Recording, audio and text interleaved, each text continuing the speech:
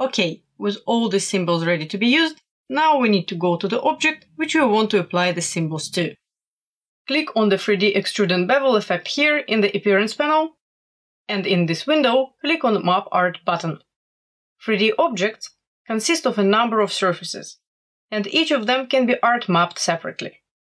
And you can pick which surface you want to work with by clicking through them here. I will start with this surface. Now I need to go to the list of the available symbols here and pick one which I want to use. It will be added here in its original size. Now I can scale it. There is a button scale to fit, but I don't recommend using it because it distorts graphics to fit into the shape here. Instead, scale and move your graphics manually.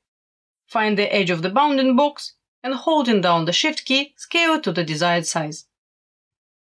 Make sure it covers the whole surface if that is your intention.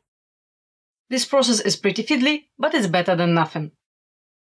To apply graphics to the surface in a more realistic way, check Shade Artwork here. It might take more time to render, but it will look much better in the end, and it will take into account the shading settings of the object. If you want to delete the symbols you've applied, you can click Clear here. This will remove the symbol from the selected surface.